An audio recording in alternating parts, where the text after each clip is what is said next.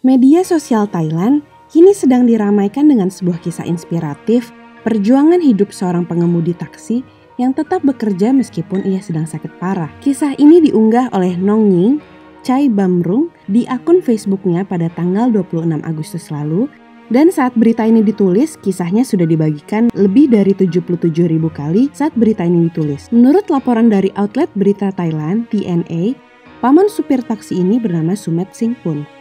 Kisah dimulai berawal ketika Nonging naik taksi milik Sumet.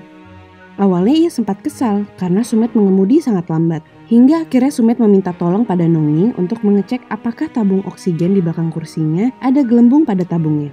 Setelah itu, Nonging mengecek ia pun bertanya pada Sumet mengenai kondisi kesehatannya. Sumet mengaku ia menderita banyak penyakit, mulai dari kondisi mata yang tidak baik dan gagal ginjal. Ia harus menjalani dialisis bahkan ketika ia mengemudi. Juga karena edema paru, Sumet harus membawa tabung oksigen bersamanya.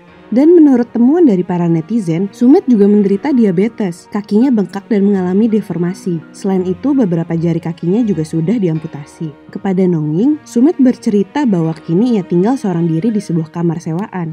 Pemerintah memang memberikan ia bantuan sebesar 800 Thailand baht atau sebesar 376 ribu tiap bulannya. Tapi bantuan itu tidak memenuhi kebutuhan hidupnya yang lain. Jadi ia menyewa sebuah taksi supaya ia bisa mencari nafkah. Diketahui dari laporan TNA, Sumit juga tidak akan mengemudi jika ia tidak merasa sehat. Sumet memang selalu menyetir dengan perlahan. Apabila ia merasa tidak enak badan saat menyetir, ia akan meminta izin kepada penumpangnya untuk mengizinkannya berhenti sesaat dan beristirahat. Menurut laporan dari stasiun TV setempat, Sumet sebenarnya memiliki seorang putra yang berusia 18 tahun.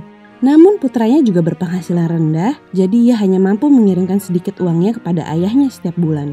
Ditambah lagi, Sumet telah menjual ponselnya jadi putranya tidak bisa menghubunginya.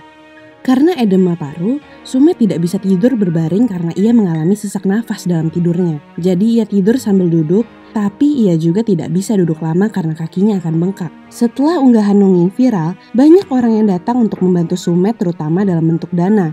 Donasi pun dibuka dan telah mengumpulkan sebanyak 1.189.487 Thailand baht atau sekitar 550 juta. Sumet berkata bahwa uang donasi itu akan ia gunakan untuk membeli rumah kecil dan memenuhi kebutuhan hidupnya. Sementara itu, biaya kesehatan juga telah dipenuhi. Banyak orang juga yang sudah menyarankan kepada Sumet untuk berhenti bekerja sebagai supir taksi. Ia sangat berterima kasih kepada semua orang yang telah berdonasi untuknya, dan ia akan mencari pekerjaan baru yang lebih sesuai dengan kondisinya. Semoga setelah ini Sumet bisa hidup dengan tenang.